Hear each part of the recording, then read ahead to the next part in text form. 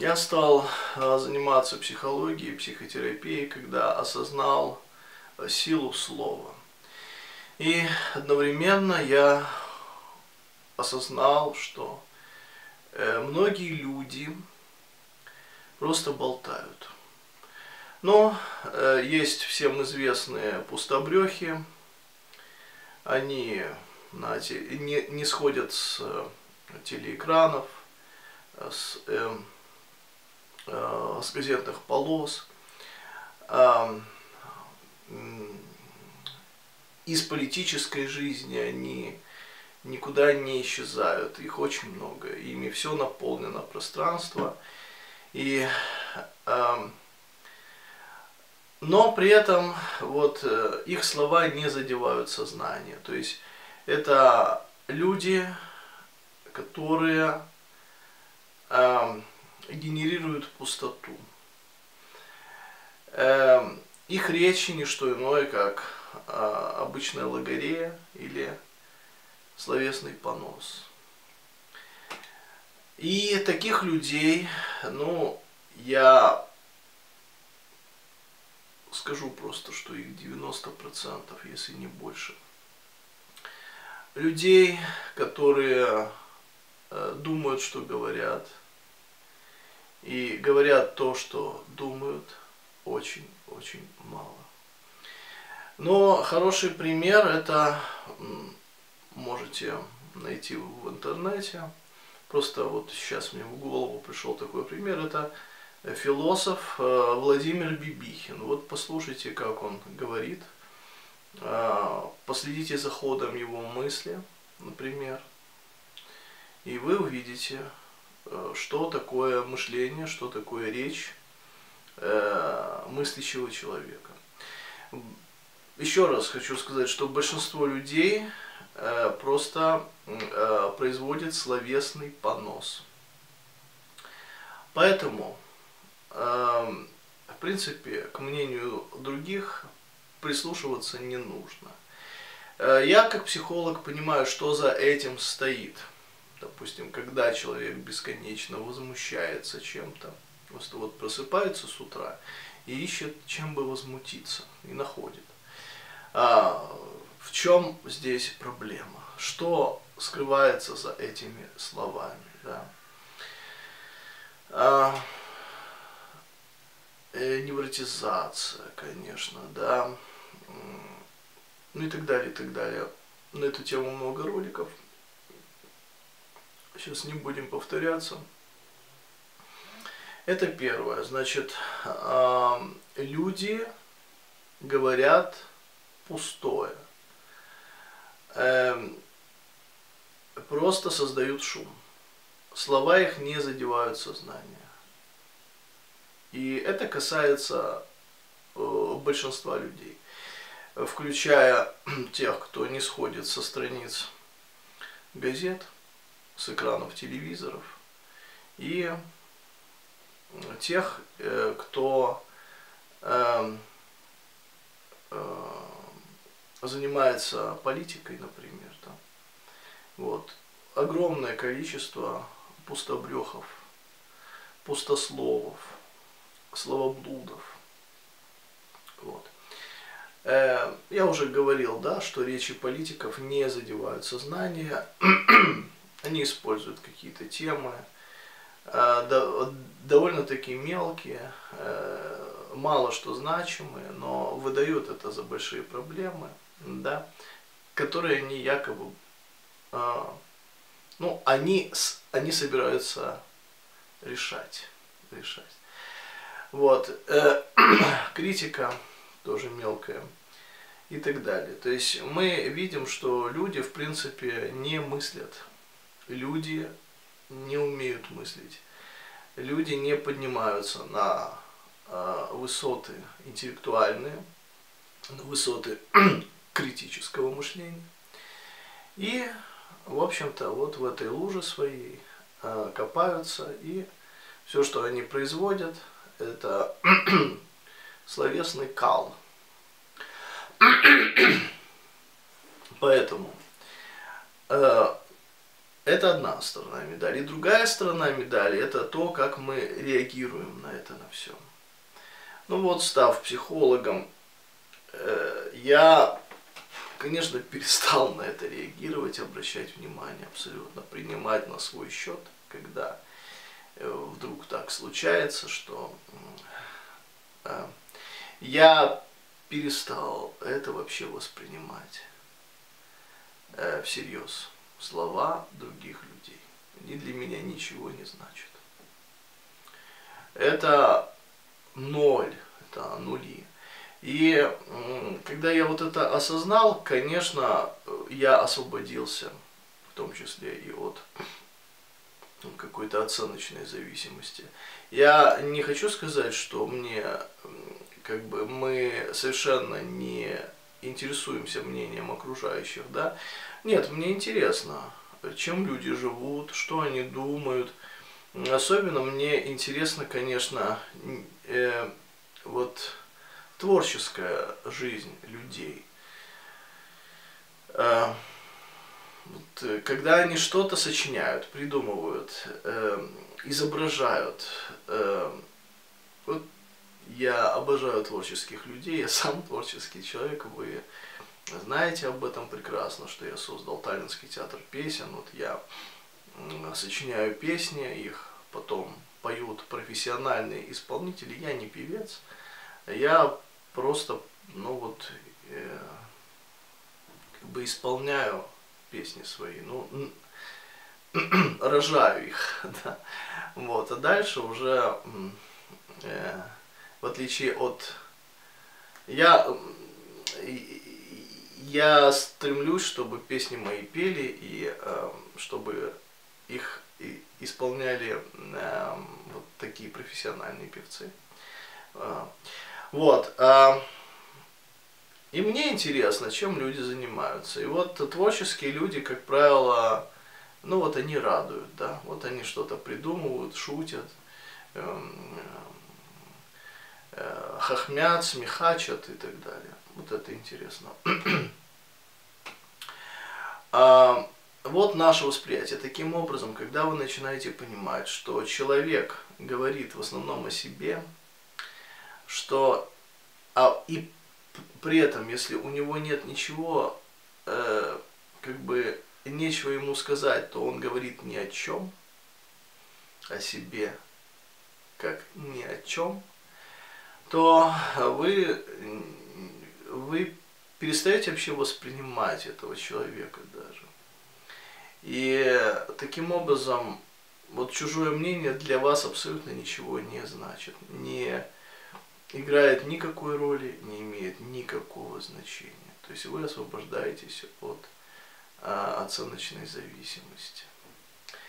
И прийти к этому вы можете только посредством работы над собой, а, а, осознанности, повышения уровня осознанности. И вот это результат, прекрасный результат вашей работы над собой, э, формирования психологической культуры. Дальше, что я еще хотел сказать? Я хотел сказать про вот, э, благоприятные условия. Да, конечно, все мы стремимся к комфорту, я сторонник этого э, зоны комфорта. Я говорил о том, что зону комфорта надо формировать везде самому, то есть не выходить из зоны комфорта, да, а формировать эту зону комфорта, куда бы вы ни приходили, чтобы вот вы пришли куда-то, и чтобы рядом с вами, и чтобы все почувствовали тепло, любовь, да, спокойствие, э, чтобы наполнилась атмосфера вот э, э, этими прекрасными чувствами, комфортом, да, уютом. Вот, что, что я предлагаю делать. Конечно, бытовой комфорт очень важен материальный достаток, да, да, это все правильно. Но э, благоприятные условия также способствуют развитию интеллекта, допустим, да, наук, искусств, а, расцвету культуры. Но культура это, это главное, это... А, ну вот смотрите, Древняя Греция, например, вот уникальное стечение обстоятельств, условий, да, экономических в том числе, да и, может быть, главным образом экономических, а, что сформировало особую, э, особые условия, в которых что зародилась а, древнегреческая философия. Вот. И, ну вот представьте, вот этот Сократ, да, но это же, это же поразительно, когда такие люди появляются. И вот сколько веков прошло уже, а э, сократический метод остался, да. Я, правда, мало слышу, вот, чтобы люди как бы э, в каких-то, в каком-то общении, в дискуссиях использовали этот метод. Кстати, он очень хороший для психотерапии тоже. Вот. Когда есть определенная проблема, то можно с, с э, по, помощью вот этого метода маевтики, да, э, от этой проблемы избавиться, переоценить ее, э, поставить под сомнение, под вопрос и так далее, и так далее. Да. А, ну, много всего было создано тогда, и уникальные личности возникали и так далее. Конечно, в условиях экономического концлагеря такое невозможно. Такое невозможно, мы это видим. Поэтому должны, быть, должны создаваться благоприятные условия для развития культуры, э, философии, искусства, творчества. Э, это все должно поддерживаться обязательно тогда мы увидим плоды, тогда люди будут хотеть жить. Вот наш ролик, там, а, интервью с, с доктором Куком на тему самоубийства, да, уже набрал больше 30 тысяч э, просмотров. И я, я понимаю, что люди не хотят жить в таких условиях. Это очень тяжело. Не на что опереться, центры удовольствия истощены, э, люди чувствуют свою ненужность, да. Э, я вот с этим сталкиваюсь тоже. Очень э, действительно, многие говорят о невостребованности своей, вот молодые люди, не молодые, невостребованность, да. Понимаете, сильные люди должны востребовать слабых обязательно, но талантливых людей – быть поддерживающей средой, вот то, о чем я постоянно говорю, э, линию, э, которую я гну, да, общество как поддерживающая среда. Это наша э, философия такая, да, идеология, я бы сказал, основанная на знании психологии, психологической, психологических теорий. Вот мой психологический социализм а, на эту тему. вот. А, невостребованность, да. И люди как бы сами, а, сами, ну вот, не востребуют себя. Но это вот главное, востребовать себя, да, обратиться на себя, на себя внимание. Но правильно, мы социальные существа, но если общество Понимаете, если общество не создает для нас благоприятные условия, да, значит, э, это вызов для нас. И тогда мы должны сами э, осознать это и быть вот той средой благоприятной, э, которой нам не хватает. То есть задать себе вопрос, не что общество может дать мне, а что я могу дать обществу. И вот здесь вот так и а, возникает идея социальной ответственности уже. Вот через, этот, через этот процесс а, как бы разочарование в обществе. Вот. Значит, благоприятные условия важны. С другой стороны, у этих э, благоприятных условий есть свои минусы огромные. Часто они оборачиваются чем? Они оборачиваются, э, вот эти условия, тем, что люди как бы зажираются, э, зарываются, да, э, начинают себя переоценивать, начинают вести себя совершенно неприемлемым образом. Вот мы это видим. Те, кто живет в комфорте постоянном, да, вот э, для кого созданы благоприятные условия, посмотрите на их поведение. Он, например, известный вот телеведущий. Смотрите, сколько про помет все знают, да. Не будем останавливаться. Посмотрите политики, как они себя ведут тоже. Э, в благоприятных условиях э, человек как бы разлагается, э, э, духовно разлагается, морально разлагается.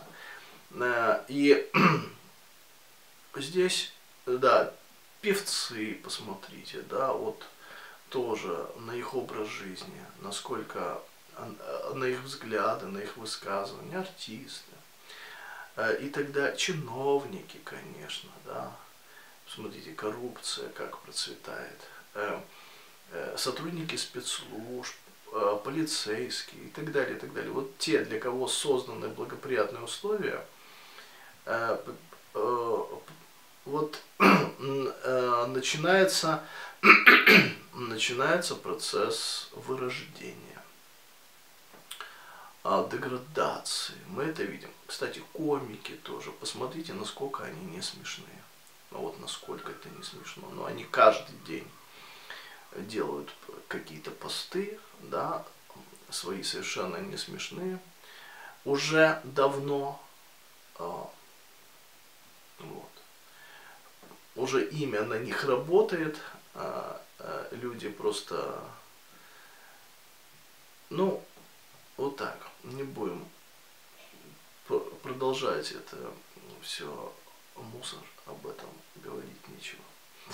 Значит, что я хочу сказать? Э, конечно, благоприятные условия развращают человека при всем. То есть они имеют вот эти условия как с, э, свои положительные стороны, так и отрицательные. Вот, поэтому здесь э, должны быть какие-то регулятивные механизмы. Кто-то должен это регулировать, кто-то должен э, как бы смотреть за этим, да, и где-то а кого-то приподнимать, а кого-то наоборот опускать немножко, да чтобы сохранялся баланс э, здоровья и нездоровья, э, негатива и позитива, да, э, добра и зла и так далее. И, конечно, чтобы у всех была возможность себя показать, проявить, процвести, оставить свой след, и, конечно же, быть известным, узнаваемым, зарабатывать деньги. Вот, э, к сожалению, сейчас перекос такой идет в сторону, в сторону богатых, да. А, вот общество как бы разделилось сильно, да, поляризовалось на богатых и бедных. А, ну вот это неправильно, конечно. И даже вороны умнее нас. Вы знаете, что когда вороны охотятся стайкой своей, да, э, за добычей, потом они делят эту добычу поровну. Вот вам коммунизм. А когда, если какая-то ворона э, умыкает эту добычу, и одна там э, ее поедает, да, то, то стая, что она делает, она игнорирует она бойкотирует, не игнорирует, а бойкотирует эту, эту ворону. Вот так, так это действует у умных птиц. В отличие от людей, которые вот из этих алчных существ э, э, человеческих э, сделали культ и стремятся к тому, чтобы тоже обогащаться – и э, как бы отделяться от общества. Это неправильно. Все, что, вот, все, что мы имеем, все, чего мы достигли, мы достигли только благодаря социуму, только благодаря обществу, только благодаря нашим собратьям. Поэтому, по большому счету, нам и не принадлежит ничего, знаете. Вот, и то, что люди так ценят, ну, оказывается, на поверку мало значимым. Вот, этих, вот этот их словесный понос, это считается, что это свобода слова, выражение мнений, да. Ничего там нет такого особенного. А, и так далее. Э, вот эти накопления всевозможные, да, но счастья-то нет при этом. Э, люди-то недовольны жизнью, вот, не могут познакомиться, не могут общаться, не могут вступать в отношения, не могут наслаждаться жизнью. Потому что ложные ценности. И э, вот это я хотел сказать. И теперь еще немножко о том, как стать уверенными. В, в одном из предыдущих роликов я говорил о мыслях, которые мешают уверенному поведению. Теперь я расскажу о мыслях, которые воспитывают уважение к себе. Итак, с этого момента я буду отстаивать свои права. Раз. Значит, защищайте свои права, свои интересы. Слова, да, я надеюсь, что вы сделали вывод после моего вот этого выступления о том, что слова совершенно не важны. Большинства людей, да, большинства не важны, потому что это логорея, словесный э, понос. Поэтому важны дела, поступки. Смотрите, как люди с вами поступают, государство поступает и так далее, и делайте выводы свои. Отстаивайте свои права, это обязательно. Без этого вы никогда не воспитаете уважение к себе. Дальше. Э, ведя себя смело и напористо, со временем я перестану чувствовать при этом неловкость. Ну, будьте смелыми. Удача сопутствует смелым, да? Fortune favors the brave. Вот знаменитое выражение, которое я слышу вот от иностранцев часто. Будьте напористыми и смелыми. Ошибайтесь, не бойтесь ошибиться, все ошибаются э, проявляйте агрессию где надо. Ну, в рамках, конечно, да, без там психоза, без э, э, э, э, потери э, самоуправления, да, э, э, без э, перехода в психосоматику. Вот. Э, глупо игнорировать собственные интересы и всегда считаться только с потребностями окружающих. Ну что же, вы тогда будете придатком, вот как мы сейчас э, в экономическом концлагере, придатки экономической системы. Вот Эрих Фром об этом писал замечательно э, в своей книге «Бегство от свободы». Вот почитайте.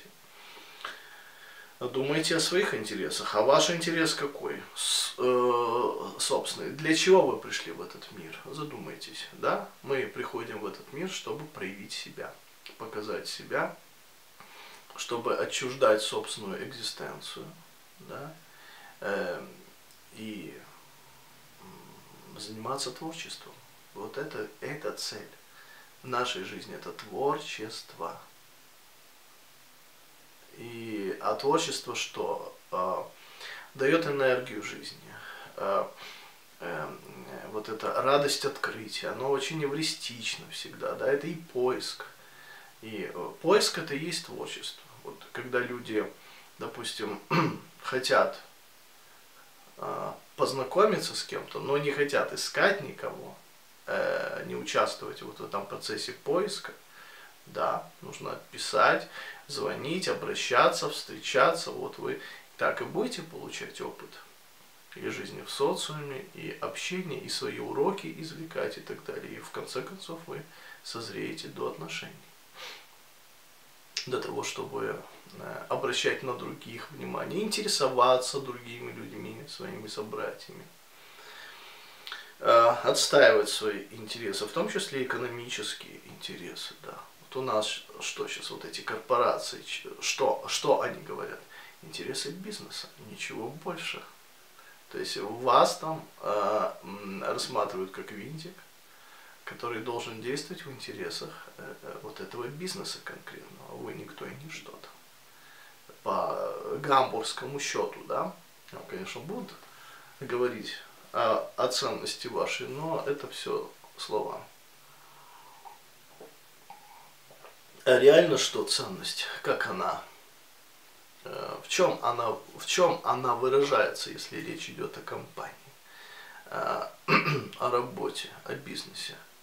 В создании условий комфортных для работы, раз, э, в размере заработной платы, два, и в том, что начальство прислушивается к вам, три, в проявлении вашей инициативы не ты начальник, э, я дурак, а э, в том, что э, к мнению работника прислушиваются. Вот.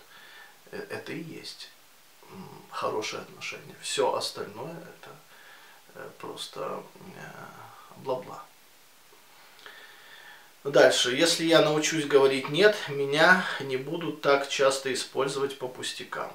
Вот запомните, ты говорите нет всегда когда вы чувствуете, что э, какие-то пустяки хотят вам э, вменить в обязанность, да, еще что-то. Вот я так, э, не бойтесь сказать нет, отказать, отказывайте. И пусть люди тоже учатся, что не, не поощрять их э, вот эти вот Э, не прощать манипуляторов, да, не, не позволяет собой манипулировать, не позволяет на себя воздействовать и так далее. Но, а если вы хотите быть рабами, то, конечно, никто и ничто не поможет вам. Потому что добровольное рабство гораздо хуже, чем э, принудительное. Да? Что мы видим сейчас. Добровольное рабство вот по закону там все, любое принуждение запрещено, но люди добровольно э, э, занимаются тем, что тем, э, к, чему э, обычно принуждают э, силой. Дальше. Я заслуживаю того, чтобы люди считались моими притязаниями и чувствами. Э, чувство важно. Если вы чувствуете, что ну, при общении с человеком вы теряете энергию, да, что вы не испытываете каких-то положительных эмоций, что вас не слышат, вас не понимают, эм, с вами они считаются, просто используют вас, ну так вы не будете себя уважать никогда. Э, если вы будете терпеть такую ситуацию. Поэтому э, вы заслуживаете того, чтобы с вашим мнением считались. Начните себя уважать, в конце концов. Дальше. Чтобы разрешать конфликтные ситуации, я должен давать людям знать о своей позиции. Обязательно. Э, говорите прямо всегда. Прямо. И дышите ровно. Вот как в моей песне поется. Говорим всегда прямо дышим мы всегда ровно. Вот. Э, дальше. Иногда действительно необходимо жаловаться, чтобы встретить поддержку. Ну, пожалуйтесь. И вы увидите, насколько человек э, ваш друг. Если он выслушает жалобу вашу, поймет, даст э, ценный совет, поможет в этой ситуации, поддержит вас. Вот это настоящий друг. А если нет, то все. Э, не общайтесь с, со, со случайными людьми. В том, чтобы бороться за свои интересы, нет ничего не женственного. Вежливо и твердо настаивать на своем праве – это не агрессивность.